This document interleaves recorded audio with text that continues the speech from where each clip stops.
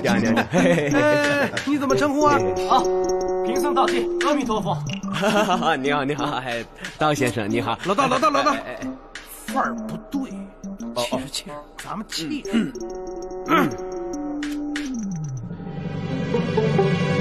这个你好，这个你好，嘿嘿嘿嘿好好好，二位老板来到我的地盘，嗯得按我的规矩来。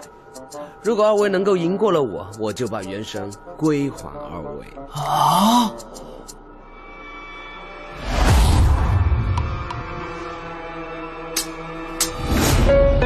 老板，黑风寨不是你想来就能来，这是我的领地，不是你的仙道蓬莱。在这地下的风，你们怎么玩都玩不会，就这本领还敢来这撒野，我呸！大魔王给你压力，你我有超大差距。来这天界只有济公这种神仙毫无压力，来自黑势力的说唱开口就是傲慢。济公别救人了，快回你的街上要饭。你要的在我手里，酒已大手笔的救人，不如回去安分守己。这关可十分阻碍，你应该怎么过？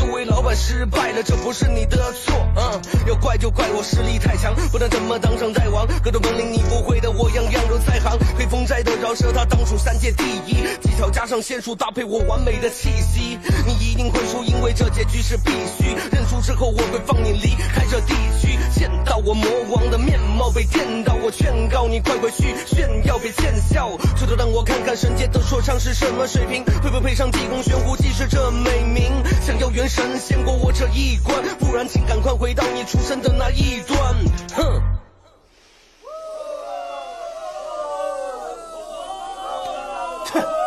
我还以为他有多厉害。嗯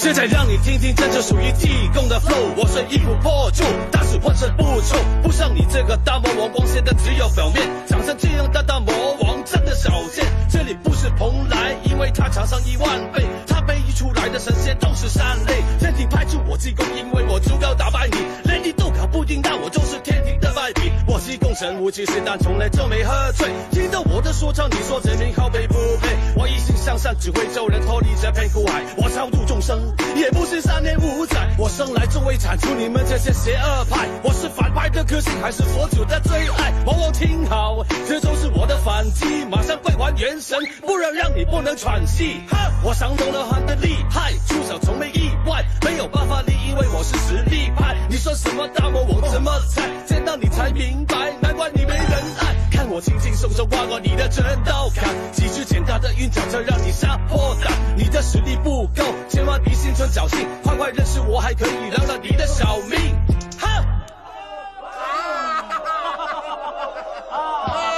你看你说我老大气成这样，要不吃点药啊？你们几个臭不要脸，老大平时对你们啥样啊？虽然说济公那边唱的还还还挺精彩的，但是你们是不是